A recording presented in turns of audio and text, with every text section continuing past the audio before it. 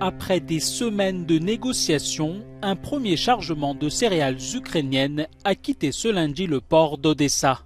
Selon le ministère turc de la Défense, le cargo Razoni à destination du port de Tripoli au Liban est attendu le 2 août à Istanbul. Il continuera sa route vers sa destination à la suite des inspections qui seront menées en Turquie. Le bateau devrait arriver à l'entrée du Bosphore mardi à la mi-journée, a estimé Yurukishik, spécialiste du suivi des mouvements des navires dans la région. L'accord signé le 22 juillet à Istanbul entre les représentants de la Russie, l'Ukraine, la Turquie et les Nations Unies permet la reprise des exportations ukrainiennes sous supervision internationale. Les céréales ukrainiennes devraient permettre d'atténuer une crise alimentaire mondiale qui a vu les prix monter en flèche dans certains des pays parmi les plus pauvres au monde.